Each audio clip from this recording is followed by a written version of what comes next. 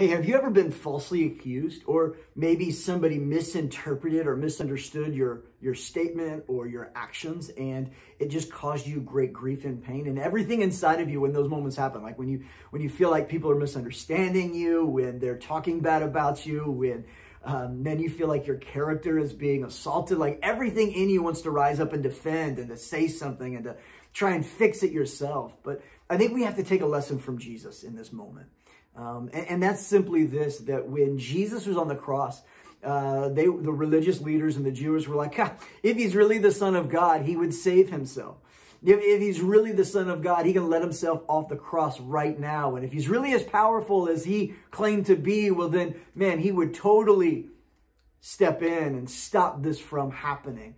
But the reality is, Jesus didn't stop the suffering in his own life.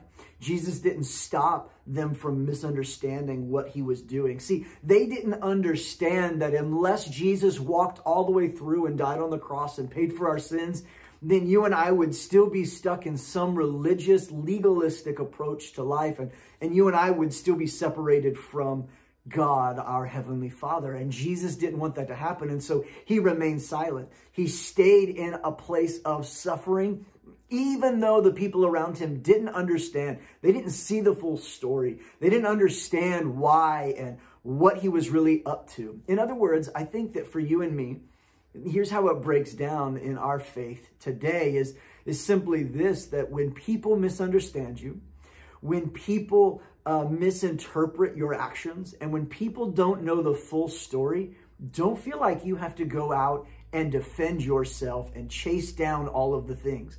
I think it's simply this. You need to be willing to walk in obedience, walk in humility, and let God be your defense. If it's true, if you're in the right, in other words, if you're walking in obedience to what God has said, then God is going to take care of bringing justification. He's going to justify, He's going to fix, He's going to remedy, and the fruit of what you're doing in your obedience will prove itself out in due time. So don't chase down the naysayers. Don't chase down the gossip lines. Don't, don't try and correct every misinformation about your life.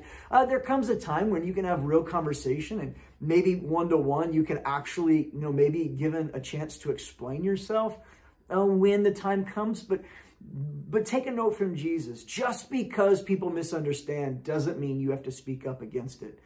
Don't stop walking in obedience. Don't stop moving forward just because there's opposition, just because people don't understand, just because they're misinterpreting and spreading misinformation about why or what you're really doing. I think if we're following Jesus and we're really living the life uh, that he's called us to, then there's going to be people around who are going to misunderstand, not fully get it, and, and they may not even fully um, ever understand why what we're doing. But at the end of the day, the fruit of your obedience or the evidence, the result of you following through with what God asked you to do will speak louder than if you stop to try to answer every critic, answer every misunderstood uh, situation or try to, to try to reinterpret for somebody who's got a limited perspective already. At the end of the day, if it's worth defending, God will defend you. And uh, so keep obeying, stay humble, and trust God to be your defense. Hey, I love you. Hope this has helped you have faith for today. We'll see you soon.